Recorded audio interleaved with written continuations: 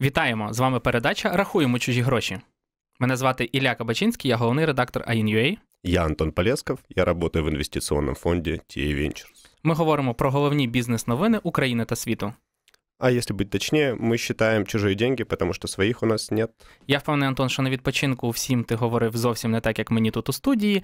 Та перейдемо власне до головних новин. Ми подумали, що людям настільки була цікава тема вартості хвороби голівудської зірки, е, що ввели в нашій передачі на певний час, будемо його називати індекс Тенета. Будемо рахувати, скільки кіно, яке має врятувати індустрію, кінематографічну, повинно ще заробити, щоб врятувати само себе.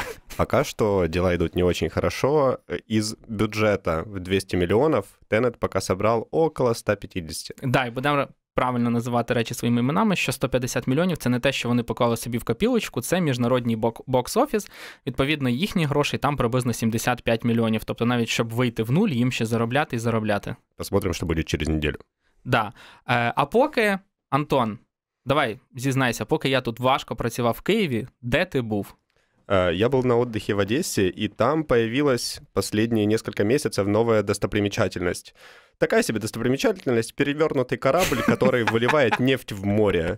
Э, Но людям нравилось, по крайней мере, на него смотреть. Э, Е, давай- Так, більше того, це так, чуть ли не головний інстаграм-спот е, Одеси. Тепер нікому не потрібні ваші потьомкінські сходи і тому подібне. Вже навіть море не так цікаво зняти. А от романтичне побачення на фоні корабля оце плюс тисячу лайків в інстаграм. Но начиная со вчерашнего дня это стало невозможно, потому что судно наконец подняли. Давай немного в историю откатимся и расскажем, что произошло. Если вы пропустили эту одну из главных событий последнего времени, в ноябре 2019 року. Да, в водах возле Одессы с якоря сорвалось судно, танкер, который перевозил топливо, и его стало прибивать к берегу, и почему-то э, те, кто управлял судном, отказывались от помощи. Э, ребята из порта предлагали отбуксировать его, спасти, но владельцы судна г- запрещали это делать, говорили нет, и в итоге судно прибило к берегу, э, оно Вона уда- сіла на хвили ріс Да. і пробоїна була. перевернулась просто и стала лежать на боку. С обморожениями спасали сотрудников судна, и в итоге пролежало оно там с ноября по сентябрь. Почему? Е, Почому воно власне там е, пролежало? Да, такий момент цікавий, те, що судно називається Делфі, а пляж, на якому воно розбилося, називається Дельфін. Парам-парам-парм, каламбур в студії Радіо НВ. Е, да, судно дуже довго не могли підняти, а не могли його підняти, тому що власне не могли вирішити, хто повинен це піднімати. Очевидно, якби що повинен підняти, заплатити за е, операцію рятування порятунку цього судна. Судновласник, але через якісь незрозумілі там е, обставини він цього зробити не міг е, чи не хотів, і постійно ці операції відкладалися. Е, Хоча вже в 2020 році були дві спроби, вони обидві були невдалі. Судно не вдавалося підняти, перевернути з боку, поставити рівно і відбуксувати кудись в порт. І відповідно весь цей час в Одесі були такі собі нафтові плями, тому що з танкера виливалась нафта. Да, сроки все время сдвигались. Сначала владелец судна обещал за- закрыть вопрос до конца года, 2019, соответственно, потом до апреля, потом до июля, и ничего не получалось. Почему не получалось? Потому что хотелось сэкономить. Хотелось сделать это подешевле, и подешевле, как ты, Илья, сказал, не вышло. Тросы тупо рвались, потому что поднять судно весом 650 тонн — это не, довольно непростая задача. Це вага без нафти, а там же є, є якась вода, яка туди злилася, нафта, ще якісь речі. Тобто, да, операція була надзвичайно складна в мірках, напевно, візьмемо України, і дороговартісна. По попереднім підрахункам від 18 до 25 мільйонів гривень. Е, Туреччина, турецька компанія зробила пропозицію вартістю мільйон доларів. Тобто, ну, рятувальна операція в будь-якому випадку була супер-супер недешева. Да, но в итоге сегодня буквально появились новости о том, что обошлось в итоге все, все в полмиллиона долларов, что тоже немаленькая сумма, и теперь компаниям, которые за это заплатили, это две частные компании, которые давно работают с одесскими портами, теперь им предстоит отсудить эту сумму у судовладельца. И это может быть довольно непросто, потому что есть некоторые слухи, которые ходят вокруг э, назначения, предназначения этого судна. Да, саме судно і е, було досить старе, йому 46 років, воно не могло е, курсувати десь далеко за кордонні якісь експедиції. Відповідно, є інформація, є домисли, чутки, що воно використовувалось для того, щоб е, власне бути перебувати в Чорному морі, в нейтральних водах і заправляти інші кораблі. Такий собі чорний танкер, називаємо його так. Плаваюча автозаправочна станція. Да. І за рахунок того, що власне ця сама заправка відбувалася в нейтральних водах, не потрібно було платити акцизи, і е, люди. Власники цього танкера могли заробляти більше. Відповідно, вони зацікавлені в тому, щоб і не платити там, де вони можуть не заплатити. Е, Теоретично можна було б як, якось забрати цю суму власне кораблем, тому що він вже старий, його немає сенсу ремонтувати, його можна розпилити на брухт. Але Оскільки Антон працює в інвестиційному фонді і циферки це його життя, він нам тут провів деякі дослідження і розрахунки. Да, два запроса в Google Антон сделал. Э, Масштабное исследование моего авторства. Э, тонна черного металла стоит примерно 200 долларов. Судно весит сухое 650 тонн. Получается, немногим более 100 тысяч долларов получится отбить не учитывая еще расходы на распилку, на перевозку этого судна, то есть одну пятую от стоимости его эвакуации. В общем, просто потеря огромной, огромного количества денег из-за того, что владелец судна... Мудак можно говорить? Е, да, тут ще потрібно зауважити, що існує думка про певну е, колективну безвідповідальність і бездіяльність, тому що зараз багато говорять про те, що блін, був вже шторм, були складні погодні умови. Чому адміністрація порту або інші служби не взяли на себе відповідальність, тому що в будь-якому випадку, якщо танкер з е, нафтою може розбитися, це буде техногенна катастрофа для міста. Е, я був теж в Одесі, Антон був. Ми всі купалися в морі, вижили. Не знаю на, на рахунок техногенної катастрофи, але в будь-якому випадку це неприємно приємно, але ніхто не зміг якби це попередити, зарадити і через силу, там через е, якісь е, додаткові важелі впливу запобігти е, затопленню корабля. Да, то есть пришлось включаться всем, и правительству, и частным компаниям, которые работают в порту, и самому Одесскому порту, и государственным структурам. Абсолютно все. Это была главная проблема нашей страны последние да. 6 месяцев. Е, І говорять про те, що е, на даний момент будуть судитися судновласником для того, щоб він передав кошти тим компаніям, які за це заплатили. Е, В Одесі мінус одна пам'ятка культури. Е, тепер пляж, я так розумію, почистять і відкриють, і всі будуть, в принципі, задоволені відпочивати на ньому далі. Тепер буде дельфін без е, дельфіна. Да, це буде неплохо, тому що купатися на фоні затонутого корабля, ну так собі ідея. А люди це делали. Я прям своїми глазами бачив, купаються на фоні. Ти теж купався, будемо чесно, хоча і не можна. Далі ми вам розкажемо про те, скільки коштує купити паспорт іншої країни. Цікава тема для тих, у кого є зайвих 150 тисяч доларів і кому набридло отримувати е, візи в США чи Британії. Опять не для нас новості, Ілья! Ну що, ми ми до цього йдемо. Е, Так от, знову нова корупційна історія у світі. Знайшлися 1400 секретних документів про те, як е, багаті та заможні люди купують собі паспорти на Кіпрі. Так званий золотий паспорт. Коротко, Антон ничего сложного. Вы вкладываете деньги, инвестируете в экономику государства разными способами. Чаще всего это недвижимость, либо покупка гособлигаций. И вам за это дают паспорт страны. Все. Чому це да, чому це вигідно і навіщо країни це роблять? Тому що вони таким чином збагачують власну економіку. По суті, тобі треба дати просто паспорт якійсь людині і, наприклад, його родині, а тобі за це може прилетіти там від 150 тисяч євро. Здається, це зараз найменша ціна, до ледь не 10 мільйонів євро, в залежності від країни, в якій це буде. Є близько 30 країн, які торгують своїм громадянством, і вони на цьому заробляють. Для деяких країн це прям величезна стаття доходів. Е, Недавно бачив цифру, що здається, Кіпр на цьому заробив за деякий час 6 мільярдів доларів. Щоб ви розуміли, 6 мільярдів доларів це просто колосальна сума грошей. Навіть якщо взяти там Україну, то для неї це велика частина її бюджету. У нас здається, там бюджет трошки більше там трильйона, а 6 мільярдів це Це бюджет годовой на нашу оборонку. Да, да, да, дуже дуже величезний. Тому для багатьох країн це супер спосіб заробляти гроші, і чимало країн, які торгують своїм е, паспортом, це якісь невеликі острівні країни, не найбагатші, в яких немає користування корисних копалин, в яких немає офіса Фейсбука чи Майкрософта, щоб заробляти на податках, і вони знайшли такий собі спосіб е, заробляння грошей таким чином. Чому, чому власне людям вигідно купляти ці паспорти? Это стало, как ты правильно сказал, полноценным рынком. Его можно разделить на две стороны. Это покупка паспортов и покупка вида на жительство. Модель одна и та же. Вы инвестируете деньги в экономику, но вам либо сразу выдают гражданство, либо вы должны выполнить какие-то условия. Почему это выгодно? Потому что на примере украинского паспорта, например, он не самый сильный. Мы не можем э, без визы полететь в Великобританию. Э, у нас есть ограничения по инвестициям, которые мы можем, э, деньгам, которые мы можем выводить из страны и так далее. И чтобы расширить свои возможности, люди покупают себе гражданство других, других стран. Но справедливости ради, некоторые покупают их для того, чтобы отмыть э, свои бабки, полученные не самым честным путем. Об этом, собственно, и было расследование Аль-Джазира, о котором ты говорил. Э, о ценах.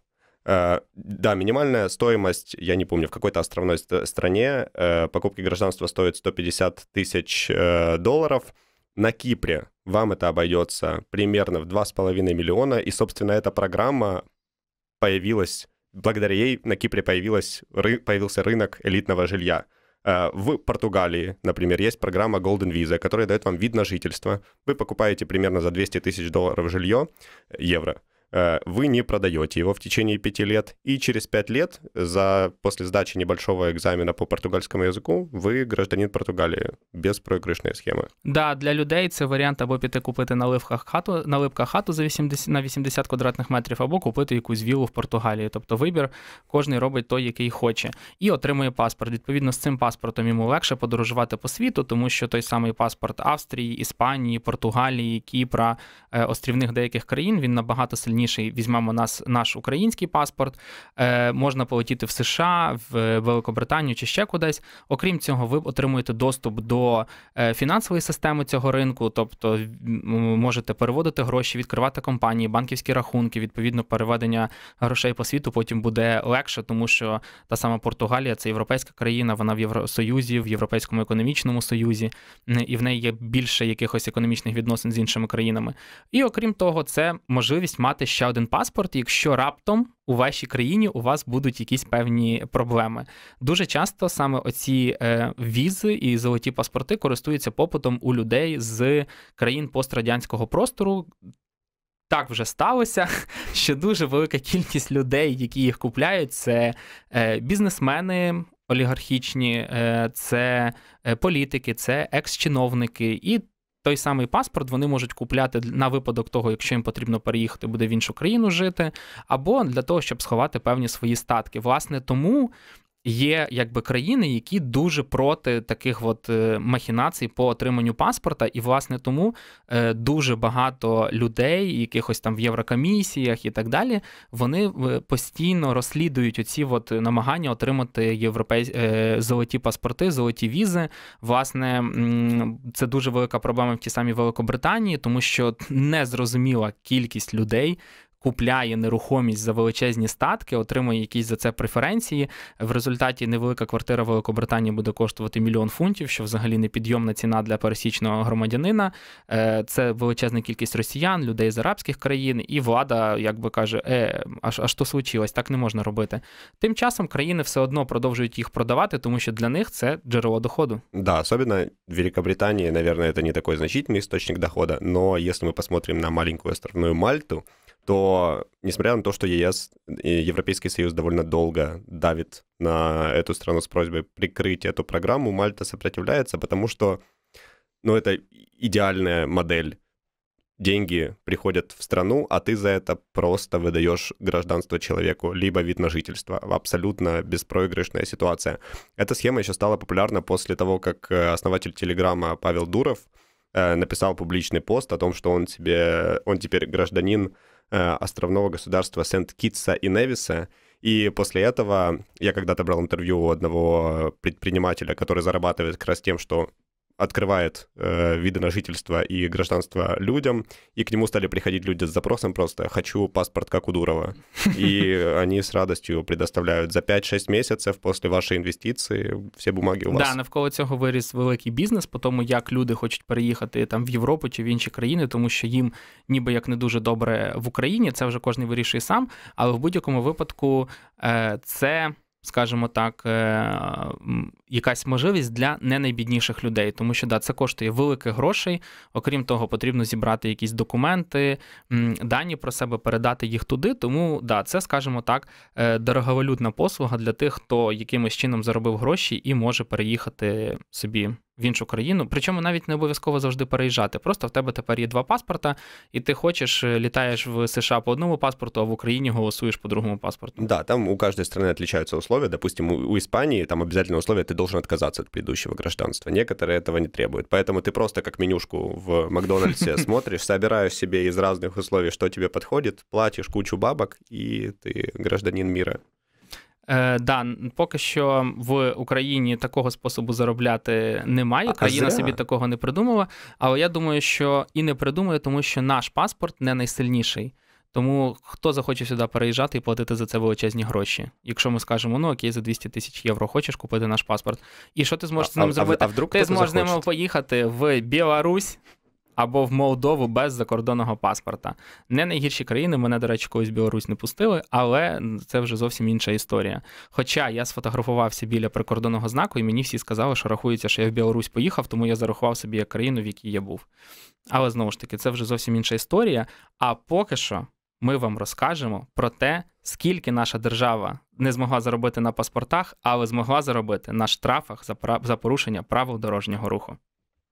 Как Илья уже сказал, одна из главных новостей этого месяца — это то, что я был в отпуске в Одессе.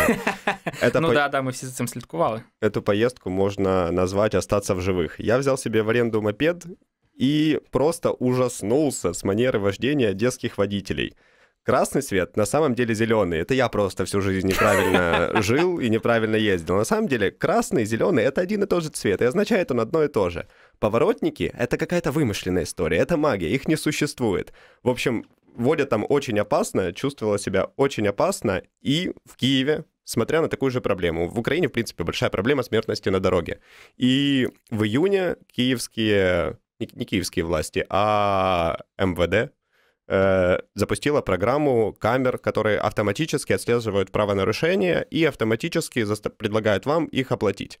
50 э, камер были установлены в, Киев, в Киеве и Киевской области, и вот буквально на днях отчитались после 100 дня запуска этой программы и рассказали, сколько же денег пришло в бюджет от нарушителей. Сколько? А привалило, ну реально не багато, ні мало 100 мільйонів гривень. Тобто ми порушили на 100 мільйонів гривень. Величезна сума. Я прикидую, що десь половина це мої штрафи, тому що в мене вже завалило тими листами. Я не злісний порушник, я постійно якимось дивом порушую на 1-2 кілометри. Хто не знає, може хто не водить, дозволена швидкість 50 плюс 20, і оскільки в камери може бути невелика похибка, теоретично, якщо ти будеш їхати 72, тебе не оштрафують. У мене що не 74, то 75. Буквально не знаю, якась проблема з тим, що. Я не можу попасти в цей ліміт, і тепер я думаю, що завдяки моїм штрафам побудують ще одну одеську трасу і перекладуть дорогу е, Київ-Чоп. Але ну вже що зробиш, сам винен. Загалом е, порушень дуже багато. І ці, тепер за ці всі порушення збираються гроші, тому що раніше поліція не могла сама стати на будь на всіх ділянках дороги за всім слідкувати зразу. А ця система працює автоматично. Ти їдеш трохи швидше, камера фіксує твій номер, тобі приходить е, лист друкований, але при цьому е, наші банки дають змогу отримати е, повідомлення про порушення правил автоматично. І крім цього, є там боти в різних соціальних мережах, які також тобі це присилають. Перших 10 днів можеш заплатити в два рази дешевше, замість 250 там чимось гривень 100 там 25 чимось. І далі, якщо ти кожних два тижні не платиш, штраф е, збільшується в два рази. Як сказали на останньому брифінгу, люди зазвичай платять самі. Більше 70% люди добровільно заплатили, взагалі без проблем, не треба нікому йти в суд. Е, тобто, це така собі для держави зручна схема і обмежувати рух на певних ділянках дороги, і при цьому не маятися з тим, що потрібно сперечатися, не знаю, там боротися з цими водіями, щоб вони заплатили. Да, и справедливости ради, основная цель этой программы не наполнение бюджета. Мы, конечно, здесь говорим о деньгах, и это интереснее всего, но цель обезопасить людей, уменьшить смертность на дорогах, потому что расположение этих камер не скрывается. Везде стоят знаки, вы предупреждены, вам говорят, камера, едь медленнее, опасная зона. А, но при этом я тут провел занимательную математику. Во-первых, за 100 дней 833 тысячи правонарушений. Это значит 8330 в день в дне 86 400 секунд, значит, каждые 10 секунд происходит правонарушение. И, если смотреть за статистику, потому что отчитываются результаты программы, за первый месяц заплатили 31 миллион штрафов, за 45 дней 51 миллион, за 100 дней 100 миллионов. То есть пропорция примерно одинаковая. Пока що люди нарушають примерно столько же, просто платять. Я, до речі, думав про цю тему, чому вони платять стільки же, чому кількість штрафів не зменшується. Насправді Штраф, ці камери вони з'явились досить недавно, і людині не завжди легко настільки швидко до них звикнути. Я після того, як заплатив цю кучу штрафів, я тепер вже трохи напрягаюсь і я слідкую за цими знаками. Ну, теоретично, якщо ти не швидко їдеш, ти ніколи раніше до цього не порушував, ти не будеш настільки сильно звертати уваги на цей знак камери, і десь ти можеш чуть-чуть нажати більше, чуть-чуть менше, десь випадково буде, десь, можливо, ти не помітиш знаку. Тому е, загалом, якби я думаю, що це не люди, всі порушники, просто ще не виробилась звичка звичка з часом, коли комусь прийде там 2-3 штрафи, він ще забудеться їх заплатити, і в результаті там за рік потратить 5-10 тисяч гривень на штрафи, він подумає цей водій інакше. Е, але ну, цікавіше інша статистика. По-перше, на ділянках дороги, де зазвичай через порушення швидкість була дуже висока, вона кратно зменшилась.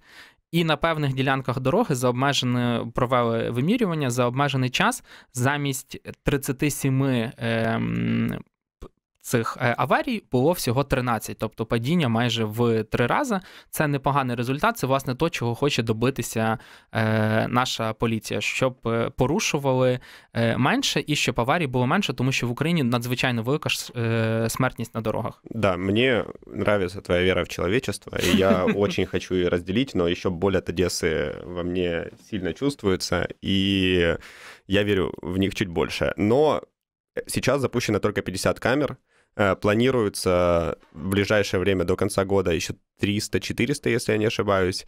И я очень сильно надеюсь, что кроме первоначальной цели увеличения безопасности, э, в бюджет тоже будут увеличиваться поступления. Ребята не скрывают, они сами говорят, вот смотрите, у нас с 50 камерам, камерами получилось 100 миллионов привлечь, если будет 1000 камер, то это будет уже больше миллиарда.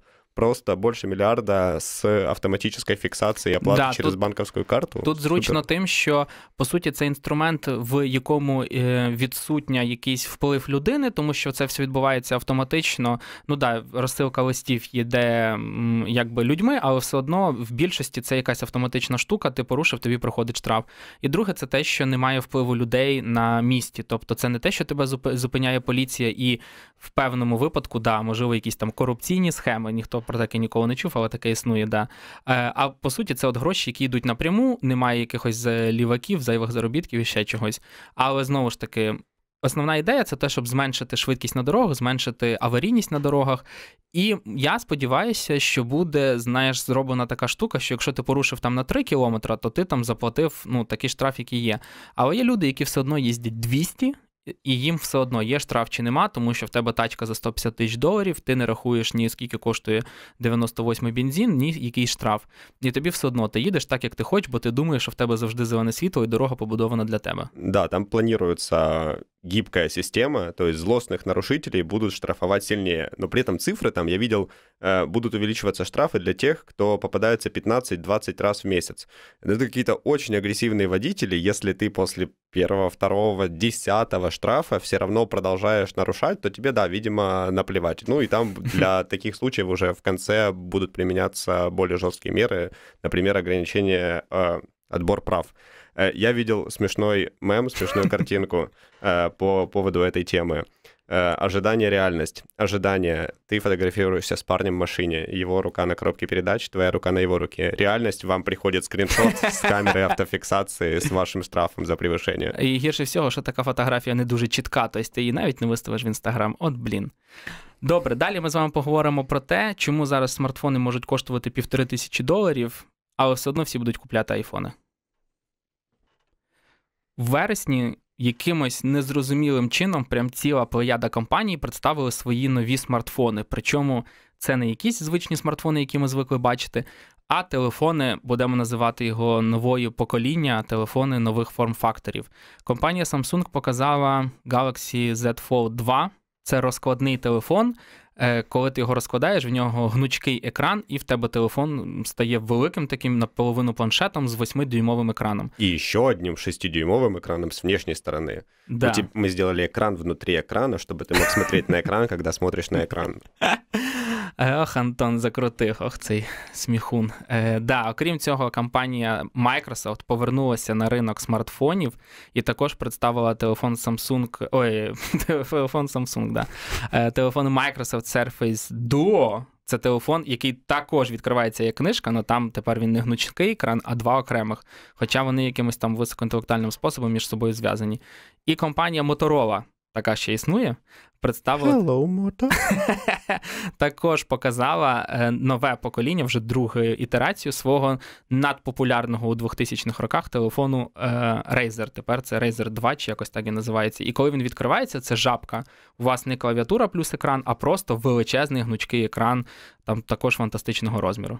Да, в какой-то момент, не знаю, после, не буду говорить какого-то года, э, стало скучно э, в мире смартфонов, э, обозревать стало нечего, процессор стал мощнее, камера стала лучше, экран стал больше и так далее. И вот все немножечко изменилось и стало веселее, когда Samsung представил свой первый Galaxy Fold с сгибаемым экраном, но было не очень весело, потому что он был плохой по качеству и стоил полторы штуки примерно. Полторы штуки за смартфон. Это очень много. Э, сейчас технологии движутся вперед, и второе поколение уже значительно лучше. Им уже можно пользоваться, но при этом цена. Сколько в Україні буде стоїть второй Galaxy Fold? 60 э, тисяч гривень він буде коштувати. Телефон Microsoft взагалі не продається в Україні, але в Америці це півтори тисячі доларів без додаткових аксесуарів. Телефон Motorola це також 1400 доларів. Тому да, це гаджети не для всіх, вони дорогі, але як ти правильно сказав, вони трохи розрядять ту атмосферу, яка в нас є, тому що до цього моменту, скоріше всього, якщо ви з друзями зберетесь в кімнаті, покладете всі свої телефони на стіл е, екраном вверх, заблокуєте їх, це буде просто 10 однакових кірпічів, якщо у вас є, звичайно, 10 друзів. Якщо нема, буде трохи менше. Тут вже кому як пощастило.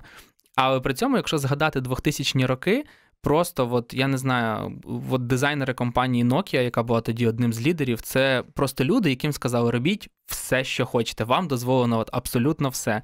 Це і телефони жабки, і телефони слайдери, і телефони трансформери, вони крутяться в одну в другу сторону. Телефон як е, губна помада, там ще щось. Просто бу-бу, в голові всі картинки, які тільки можна згадуються. Да, я кайфовал, были журнальчики у всяких э, сотовых э, сетей, которые продавали смартфоны, и ты мог просто часами сидеть, рассматривать разные форм-факторы, чем они отличаются, как ты можешь использовать с проектором на стену. В общем, огромное количество идей.